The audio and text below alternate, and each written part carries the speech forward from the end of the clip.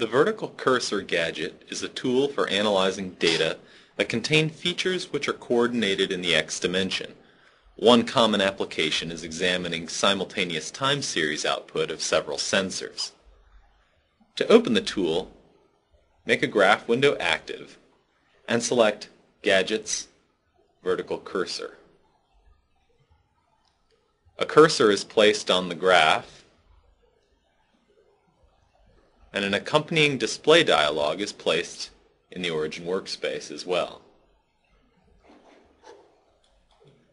The cursor itself is movable and bisects all vertically stacked layers in a given graph. Notice that the points of intersection of the cursor and the data are displayed beside the cursor in each of the layers. These values update automatically as the cursor is moved. You may additionally increase or decrease the font size of the label until you can see it comfortably. You may additionally hide the label altogether by clicking on the appropriate buttons in the vertical cursor accompanying dialog. By default, the gadget displays only the Y value of the points of intersection. You can change this by going to the Options dialog for the vertical cursor and on the Labels and Tags tab selecting X and Y if you'd like to see both, or selecting some custom format and using LabTalk script convention to assign that format. I'm going to leave it at the XY coordinates for now and select OK.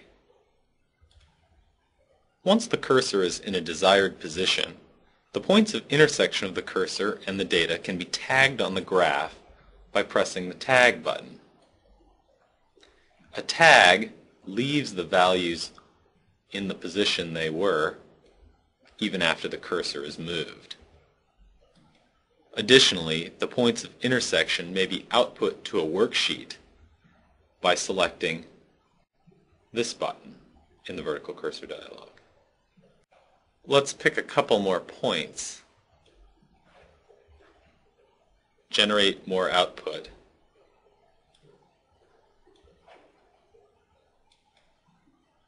And now select the adjacent button to go to the worksheet and see the output.